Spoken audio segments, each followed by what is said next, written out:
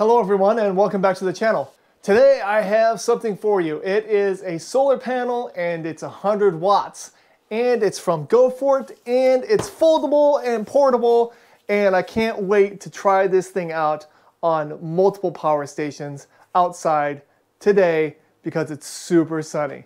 And so I'm pretty excited about it. But let me go ahead and tell you a little bit more about this GoFort 100 watt monocrystalline foldable solar panel. First thing I want to talk about is the dimensions of this solar panel because I feel like it's not very big. Uh, it's only like 20 and a half inches by 20 inches and it is super thin. Um, it's got these nice uh, carrying straps. I believe they're some sort of nylon so they feel pretty strong. And while it's unfolded, uh, you pretty much double, double the size, so we're looking at 40 inches altogether. But let me show you the comparison to a 50 watt foldable solar panel. All right, here is the 100 watt uh, GoFort, and here is a 50 watt equivalent. It's basically the same design, but look at the, look at the size difference. I'm not sure if you can see that. Let me, let me put them right together. I mean, it's only probably two inches wider on each side and four inches or five inches on, from, from top. So the difference between 50 watts and 100 watts uh, isn't really that great. And here's the size comparison uh, while they're open. So you can see again that a 100 watt panel, um, when it comes to size, is a much better option to have. It's really not that much bigger and you're getting twice the solar output. All right, this, uh, this GoFort 100 watt solar panel Okay, first of all, it is monocrystalline, so it does use the more efficient cells. Um, it does have this pocket right here in the front, and it does come with uh, some barrel plug adapters, and it comes with a 5521 cord, which you'll be connecting to your power station. Let's go and open this up and see what kind of barrel plugs we have. Okay, it comes with four adapters. Uh, first, it comes with an 8 millimeter adapter. And then uh, I believe this is the 5525 adapter. And then it also has the, the 35135 adapter. And it also comes with a 6330 adapter. And we can't forget the weight, which is 5.7 pounds. The solar panel also comes with a, a small user manual.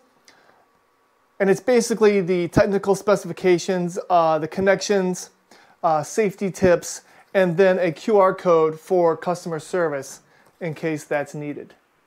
Okay, the connections that go into the solar panel, let's check them out. You can see inside the pocket, there is this little controller right here, and there is a light that lights up when the solar panel has sunlight. Uh, here is your 5521 female port. Then it has a 5 volt 2 amp uh, USB A port and a quick charge 3.0 port for your quicker devices. All right, well, it is about high noon, so we are gonna take this GoFort 100 watt solar panel outside and uh, go ahead and plug it into some power stations and see what we get. Okay, we are outside and here is our setup to do some tests on this solar panel. So here is the GoFort 100 watt solar panel. Here's our little setup for our power stations. Uh, you can see that I put an umbrella up, so that way we have some shade, so we might actually be able to see the displays on the power stations. Okay, and I also brought a little uh, USB fan to see if we can plug it directly into the solar panel. And so let's get started. First, we're gonna try out this Flashfish E200. Now, on the, uh, on the specifications in the back, it does say that the DC input is 15 volts by two and a half amps. And this solar panel is actually 18 volts by five and a half amps. So you really shouldn't use a 100 watt solar panel with this power station. But we're gonna go ahead and do it anyway, just to see what happens. Don't try this at home. Yeah, don't try this with your E200. Okay, so let's go ahead and plug in the solar panel. Huh, look at that.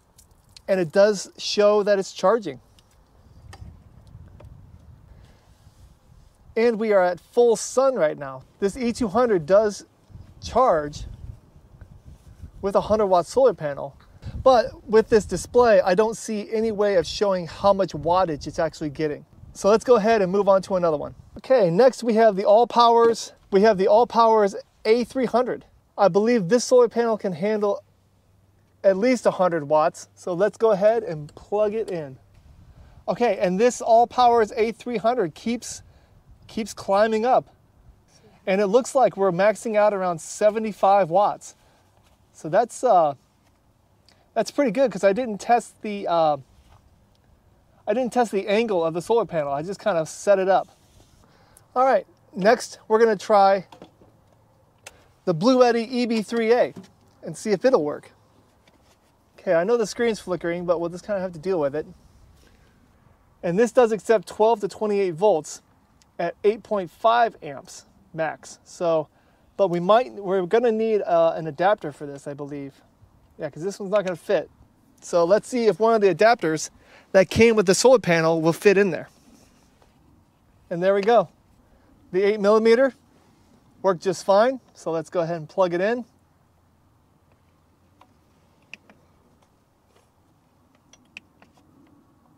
See what we get. And you can see the tracking on the EB3A is a lot quicker than the All Powers S300. And it shows that the wattage is 71 watts. Okay, and last but not least is the actual GoFort J1000. This is the this this is the big one. Okay, and so this is a GoFort, and our solar panel is a GoFort. So let's make sure that they work together. Now it looks like this is an 8 millimeter plug as well, so we're going to go ahead and just keep this on there, plug it in. All right, and it's getting an input. Oh, look at that. And you can see the GoFort is actually, the GoFort is actually uh, receiving the most wattage. It's at 80 right now. So it looks like using a GoFort power station with a GoFort solar panel is the most efficient way to go. There we go, now you can see it. It's saying at a constant 80 watts. Okay, now that we know that this uh, solar panel can power multiple power stations with and without the adapters, let's go ahead and try to uh, use the, the solar panel by itself. Uh, that means actually charging a phone and actually trying to run a fan directly from the solar panel. So first I'm gonna try to charge up my Note 20 phone. All I gotta do is plug it into the USB uh, quick charge on the back. All right, and it actually shows that we're fast charging. So the quick charge 3.0, so the quick charge 3.0 on the back of the unit does work just fine. But do you think it can actually run this fan? Let's go ahead and try that out now. All right, let's go ahead and plug it in. Okay, so let's go ahead and try to turn this on.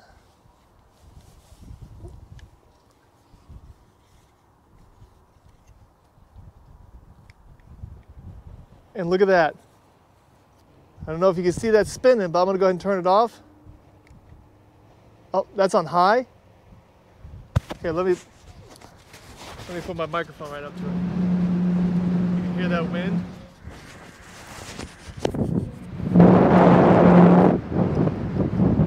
Yeah, it's running it just fine. Here, let me just. Oh, I think that's actually that's that's on very high. It's my mess. Yeah. Okay, now we turn it off. Let's go ahead and turn it back on high. Look at that.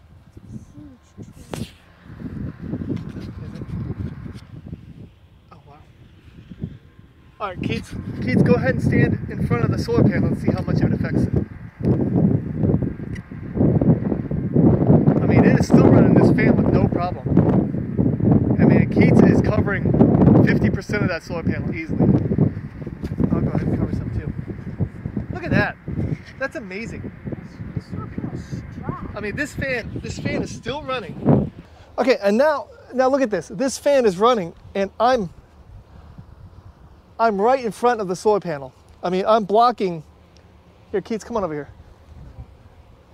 I mean, look at that. We, we are, we're blocking over 50% of this panel and this fan is still running with no problem. So if you have a little bit of shade on this, it will still operate just fine.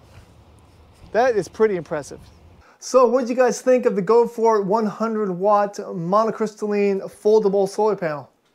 Um, well, I mean, it performed exactly like I thought it should.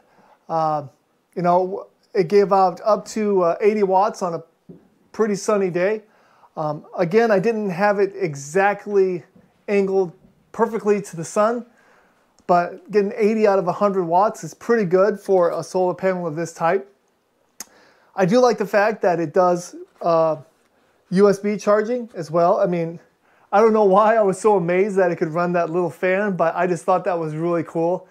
Even though my son and I were putting a lot of shade on the panel, that fan just kept on running. So I think that's, that's pretty neat also. I also like the fact that this solar panel comes with uh, those four barrel adapters. And so that way I can use this panel on, on all of the solar power stations uh, that I have. And also the fact that even though it's 100 watts, it's not really that much bigger than the 50 watt foldable panel that I have. Uh, so that's a huge bonus. Um, it's very easy to carry. Uh, you know, it has this, this Velcro, Velcro strap right here that keeps the panel closed.